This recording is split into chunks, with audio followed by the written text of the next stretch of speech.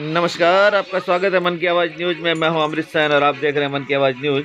आइए हम बताते हैं आपको सुलीवा में एक कृषि कुएँ पर एक झोपड़े में आग लग गई जिसमें उसका सारा सामान और घर बकरी का सारा सामान जलकर राख हो गया और एक गाय को भी नुकसान हुआ है जिसकी चमड़ी वगैरह जल गई है।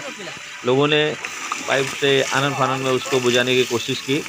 आपको बताते हैं कि लक्ष्मण कुमार हंसा जी कोहली कृषि कुएँ पर रहता है जिसमें का सारा सामान, रहने का कपड़े, लत्ते, खाना पीना, चार पाई वगैरह सारा उसी झोपड़े में था और उसमें अचानक आग लग गई। शायद आसपास में चूल्हा होगा, चाहे वो खाना बनाने के लिए हो, क्योंकि झोपड़े की कंडीशन देखते हुए इसी तरह से ही या गाय, भैंस के लिए जो खाना पकाते हैं, जिसे लोकल भाषा में बाफना कहते हैं, उसके लिए भी अगर चूल्हा होगा तो उससे चिंगारी लगी और आग लग गई होगी।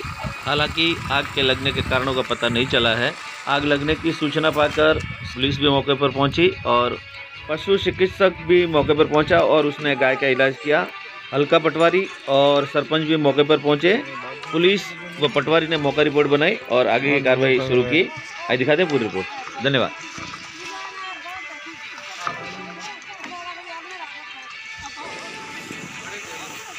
टोपीला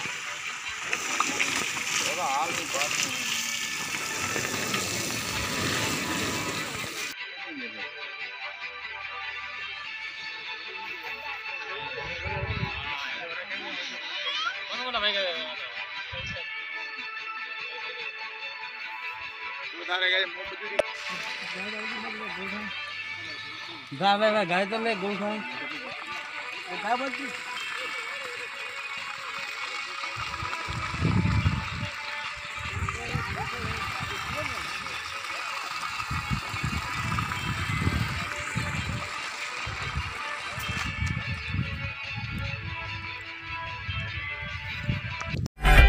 अगर आपको हमारा वीडियो पसंद आया हो तो इसे लाइक करें हमारे चैनल को सब्सक्राइब करें और हाँ बेल आइकन दबाना ना भूलें, ताकि आप तक हमारे वीडियो की नोटिफिकेशन पहुँचती रहे।